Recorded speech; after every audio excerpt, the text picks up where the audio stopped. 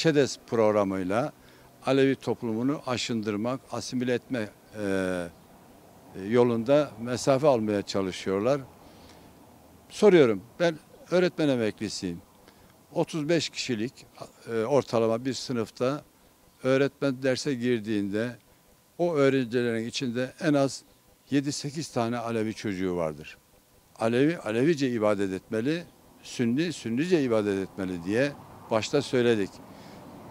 Bir Alevi çocuğunu bir din dersi öğretmeni alıp camiye götürmesi doğru değil. En azından ailesinden izin almadan götürmesi de ayrı bir konu. İkinci bir konu ben pedagojik formasyon almış bir öğretmenim. Sınıfa girdiğim zaman öğrenci psikolojisinden anlarım. Öğrenci davranışından anlarım ve ona göre hareket ederim. Siz tutup cami imamını, cami hocasını ya da müezzinini alıp okula götürürseniz ya da yanında çocuklarla birlikte giderse çocukların huzurunda bu e, e, cami hocalarının, müezzinlerin ne söyleyeceklerini çok merak ediyorum. Şunu da gördük. Yapay bir mezarlık yaptılar.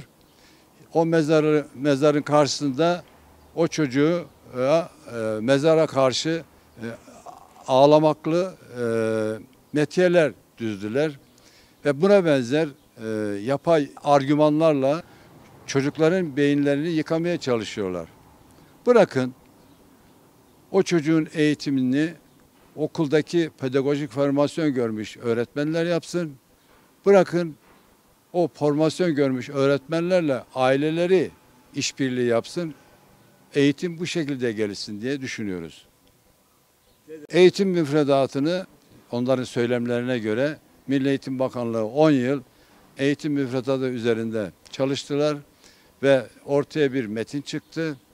Ee, bu metinde e, Atatürk ilkeleri e, ve buna benzer birçok konularda makaslama yapıldı. Ee, amaç belli. Biz Aleviyiz. Sünni kardeşlerimiz de Sünnidir. Ama e, inanç farklılığı bunu gerektirmez diye düşünüyoruz. Onun için e, daha fazla e, anlatmaya gerek yok. Herkes her şeyin ne kadar doğru ve yanlış olduğunu biliyorlar.